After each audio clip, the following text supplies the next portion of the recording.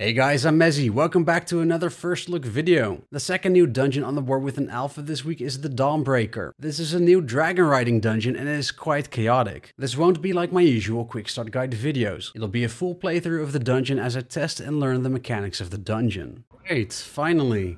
The Dawnbreaker, attempt number two. Ah, so yesterday we got one boss down and then after the first boss, uh, the the uh, group fell apart really quickly. Hopefully that doesn't happen this time.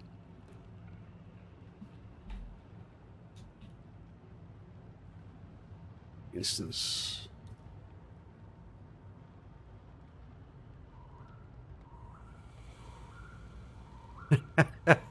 Everyone is surprised we actually got into the dungeon. The queues have been terrible. Absolutely terrible. So let's see. All, when I tried this uh, one yesterday, uh, the trash kept respawning. And I don't know what the intention is. Oh, we can just kill that one pack and go straight to the ship this time. There was...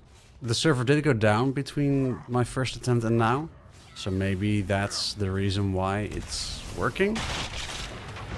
Um, so we have mages we need to interrupt. The commander has something we need to interrupt. And these are going down a whole lot faster than yesterday. Interesting. If I remember correctly, we're supposed to clear the entire ship. And this is just really cool. The ship flies. The airship.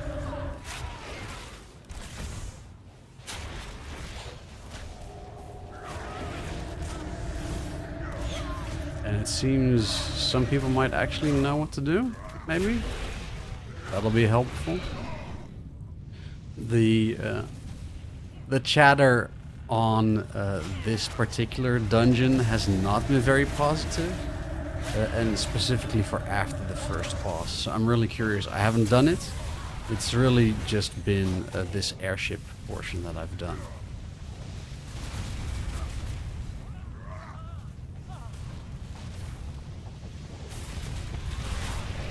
And yeah, it looks like we have to clear them. No time to rest. Head to the next ship to defeat the crew. Alright, let's go on our brand new engineering mount. Which looks really amazing, by the way.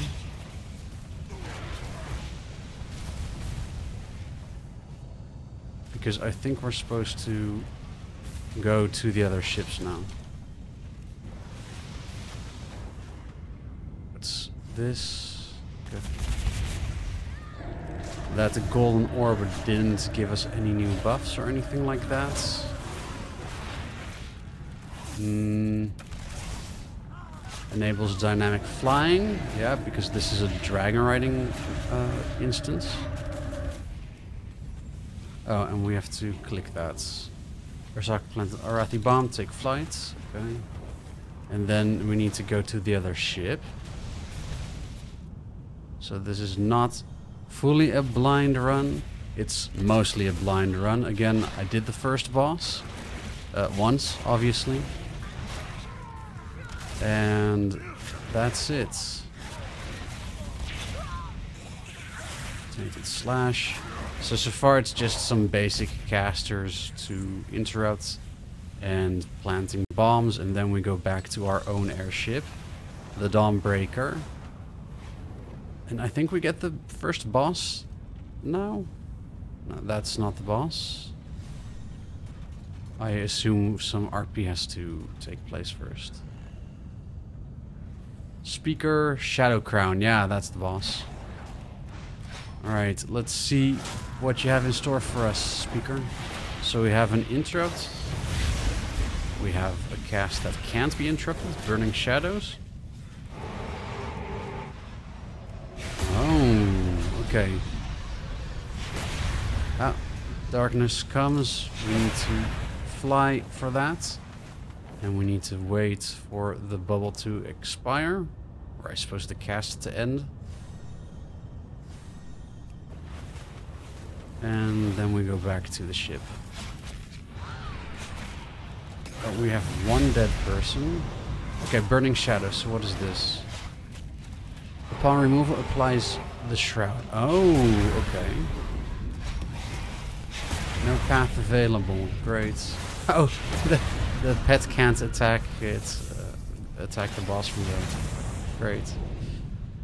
Hmm, shadow darkness comes. Okay, so what we saw... We'll, we'll check the journal in a moment anyway, so let's wait. Darkness comes. But there was a healing absorb there, and there was also an expanding ring. Alright, let's look at the journal. Uh, so, first, speaker Shadowcrown. Uh, so this is the one boss I had already seen. Darkness comes. So this was the big bubble of void that you needed to um, uh, mount up on your dragon riding mount and fly off and wait for it to disappear. Yeah, destroying players aboard. And while uh, casting, the boss is immune to damage, so there's no reason why you would stay on the ship at all. Then there's Obsidian Blast, dealing a large amount of damage to the tank and a small amount to all players. Okay. So there's nothing you can really do about this other than making sure on uh, probably needing a cooldown once this gets to a tyrannical high mythic plus key. Uh, collapsing darkness rips open portals at targeted locations, inflicting damage to targets within 6 yards, 9 yards, and 12 yards uh, sequentially. Okay, so those were the expanding circles, right? I like actually the way this is uh, described, yeah, with uh, 6 yards, 9 yards, 12 yards sequentially, because this isn't the first time we've seen uh, an expanding ring. Yeah? We have it right now in what's it called, Halls of Infusion. Um, it, one of the bosses in Vault of the Incarnates has the same thing. But this uh, is a good way of describing it in the journal, so I really like that. Uh, then we have Burning Shadows. This was the debuff I wasn't sure about. So the be- uh, the boss shares a link between uh, body and soul, or shares the link between body and soul, inflicts damage every second and reducing movement speed. Upon removal, this link dissipates across all players, applying Shadow Shroud. So, I wonder if this means that if you don't dispel it, it doesn't do the healing absorb. This is something uh, I'd be very curious uh, in maybe testing at some point if uh, people are up for that. Because uh, then it might just be the uh, um, the choice to make, right? Keep the one player alive, heal through the dot, and then don't deal with the healing absorb. But maybe because uh, removal, it could also just mean it removes when it expires. It still puts the healing absorb on players. So we'll have to wait and see. And the last one, Shadow Bolts, just deals some damage to the uh, to a random player. Okay, so the healing absorb is a big one, the expanding circle, and of course the going off the ship uh, when a darkness comes is cast.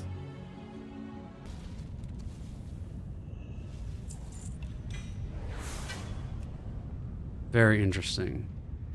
Oh, I should report that's... Oh, people already going down. Three Nerubian's lieutenants. Okay, so this is where I know nothing. Ursoc, where are you?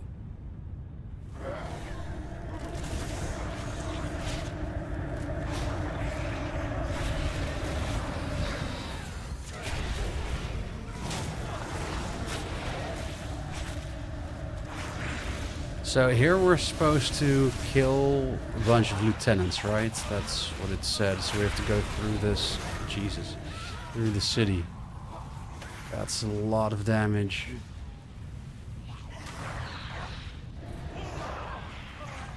I'm just release.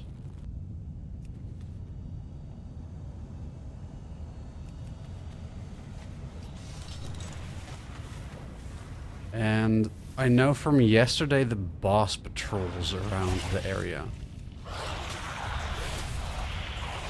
So I think, yeah, we're supposed to go to each of these dots. Uh, hang on. Defeat a new. Okay, so not that dot.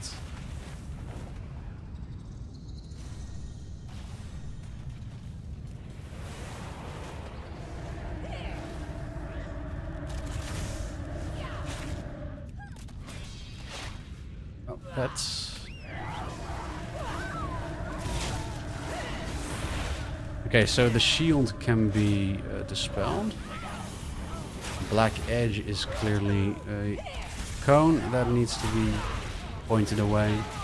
Or obviously just don't stand in it. And this is going quite quickly. Mm. Mobs not pulling this time. Yeah, yesterday the mobs did just uh, kept getting pulled. More and more uh, wouldn't leave us alone. Oh no, fear. Uh, please don't turn me into mobs. Uh, Black Hill. Okay, that's the swirls. There's just a lot going on at the same time. There's a... What's this?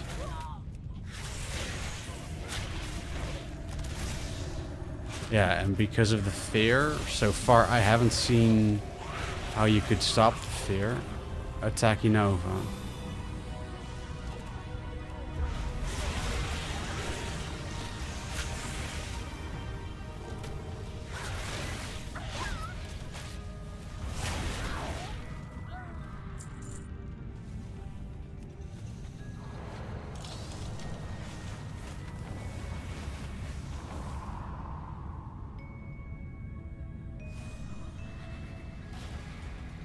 Okay, Anub'ikkaj.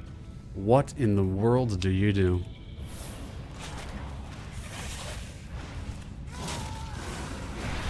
Dark Orb. That's a lot of text. Okay. And it essentially just means don't stand in the way of the orb. Slam, easy enough to understand. Radiant Decay. That's just an AoE. And honestly, so far... Oh. Ah, the orb sh is shot at a player and you have a... Uh, what you call it? Um, arrow on your head. Okay. let's look at Anu Ikaj. Uh, this one didn't really do much, or at least it felt like. So we have uh, Terrifying Slam uh, on the tank knocking them back, and additionally inflicts damage to targets within 15 yards, fearing them for 3 seconds.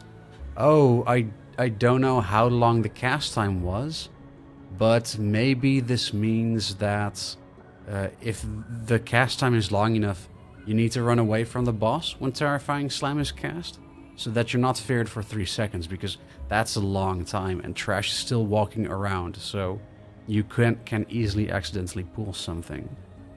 Uh, we have Dark Orb, that's something we did see, huh? Uh, we got the arrow on our head, he uh, throws the uh, Shadow Orb at you. Um, which travels until impact, exploding for shadow damage to all players, decreasing the damage as the orb travels. And Dark Empowerment enhances Dark Orb to additionally inflict shadow damage to all players every second and decrease movement speed by uh, 95%. Okay, so this Empower thing is something I don't think we saw. Uh, I see here below Empowered Nerubians, so we'll get to that in a moment. Uh, but it seems like uh, the further away you stand, the less damage Dark Orb deals. And actually, now that I'm reading this like this, the orb didn't really move when it was on me at the end of the fight.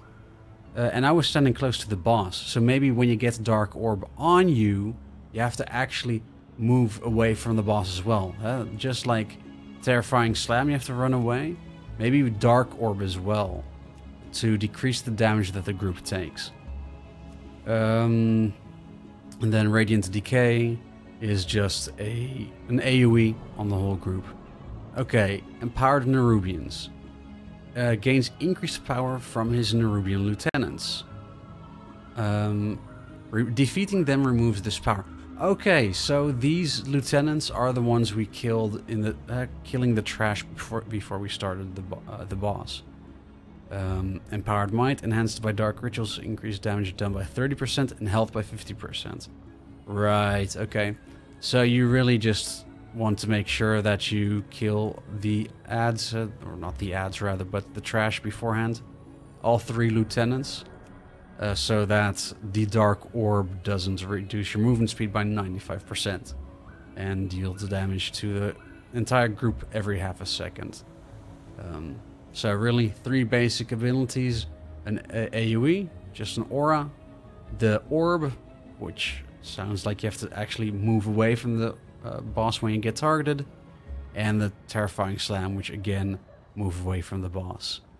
Um, That was anticlimactic. Claim.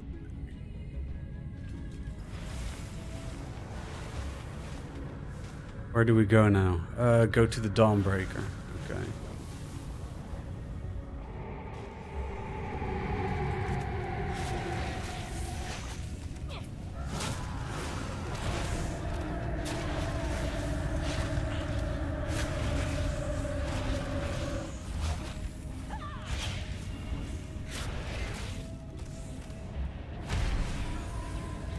What the hell?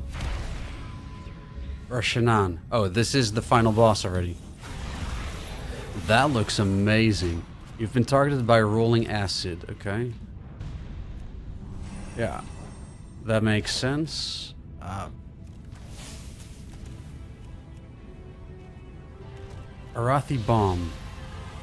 Drop the bomb you're holding.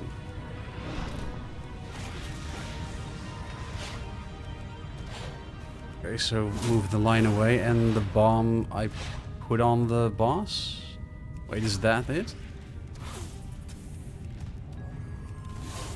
Pets are oh, gone. That's why they're not doing anything. But they are having trouble with the deck. A Nightfall Bomber arrives to throw bombs, okay? Oh, what, uh...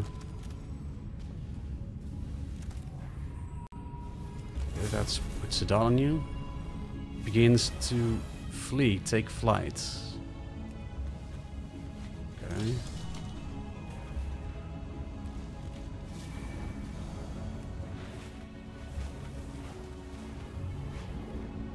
Seems we have to follow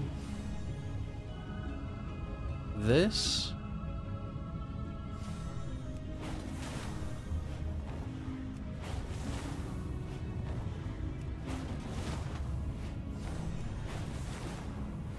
This darkness is overwhelming. Remember to get the lamplighter's blessing. What is the lamplighter's blessing? Is that just this? It must be.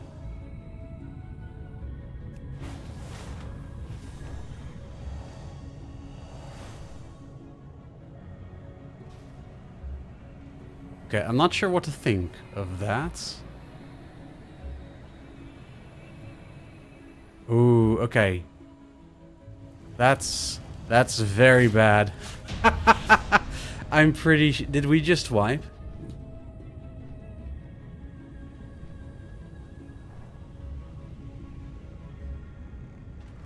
What what happened there?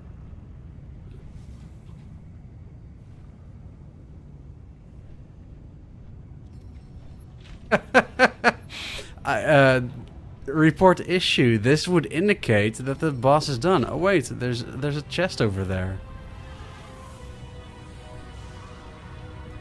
Huh. Yeah, that's that's the end of it.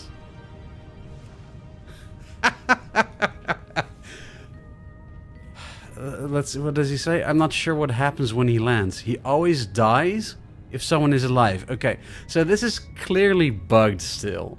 Um, interesting. Uh, but this is the instance, I guess. I I can understand why people on the alpha are uh, apprehensive about going to this dungeon, but we just saw we went through this really quickly. Once you get your footing on the ground after the first boss, things go by swimmingly. Uh, this is uh, really, it's a good dungeon. I like it. Um, so let's uh, check the journal then. Okay.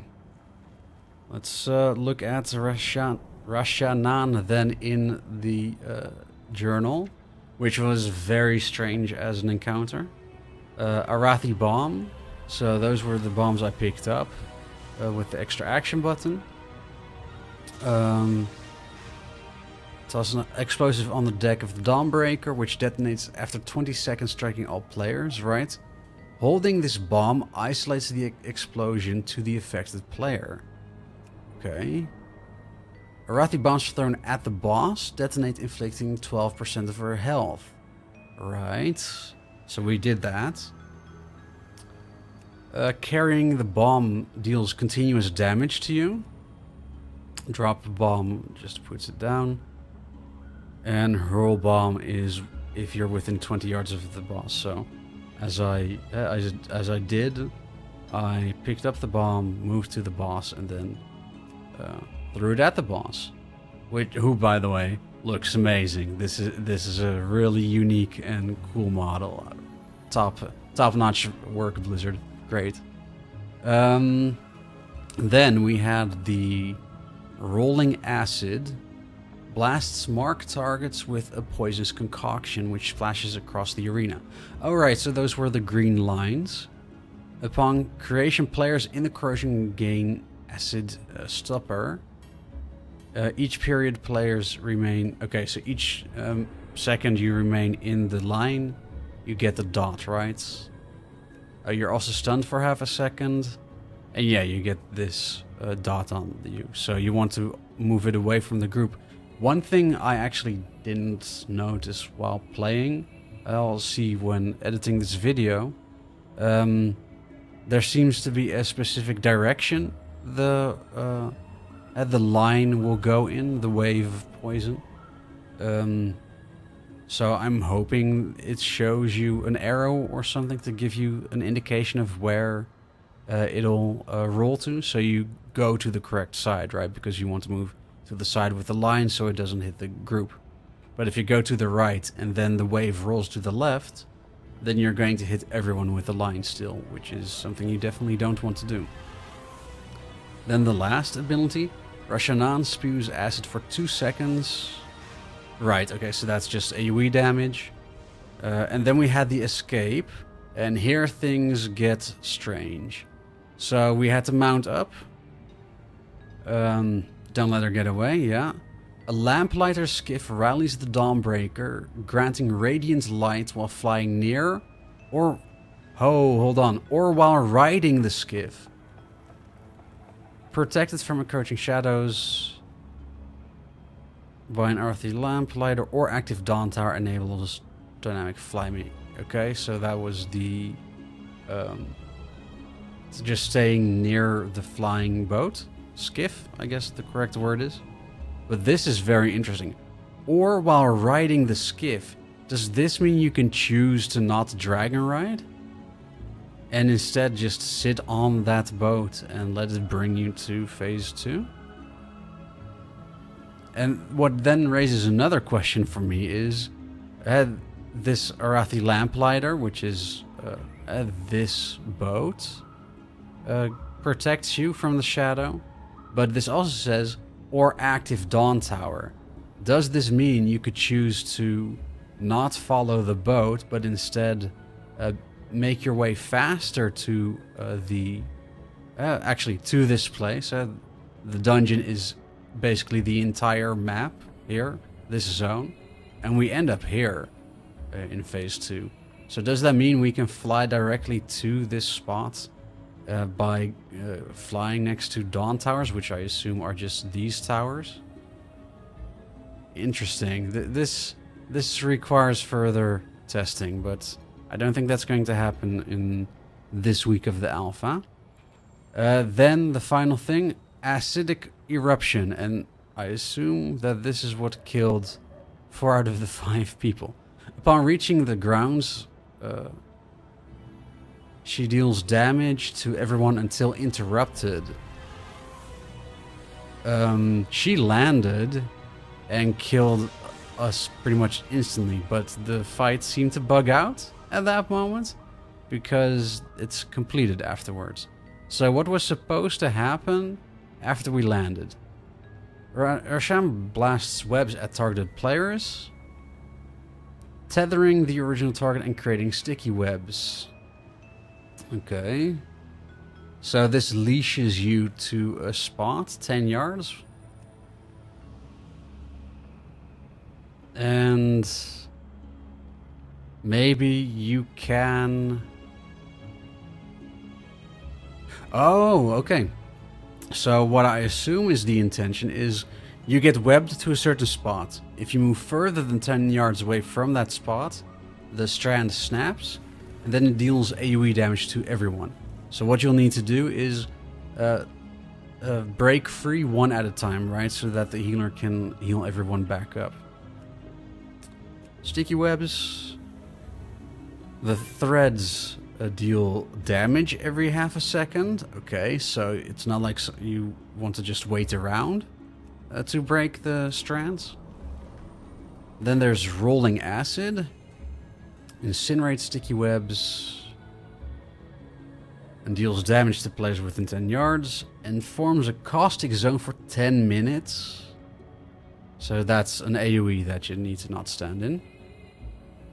Rolling Acid, this sounds familiar. So this is the Phase 1 ability again, the green line. And there is the AoE again. Okay, so Phase 2 sounds very interesting, uh, but it is very much bugged at the moment. Okay. Actually a really cool dungeon. Um, there's definitely a uh, a reluctance on the alpha to uh, go into it again simply because of the trash section after the first boss. But other than that, and of course the bugginess of Rasha'nan, uh, I like it. Very cool fight. Uh, the dragon riding feels much better compared to how much of it's uh, and the distances you had to uh, traverse in Ohn'ahran Plains, right, in the Nokhud Offensive. So that's really cool. I really like the application of dragon riding here. Um, yeah, and that's it. Just three bosses for both this dungeon and the uh, Priory of the uh, Sacred Flame from yesterday. Uh, so that's where we're going to leave things. So as we look at Rasha'nan, um, if you like this video, please do like and subscribe. Um, and let me know what you think of this dungeon.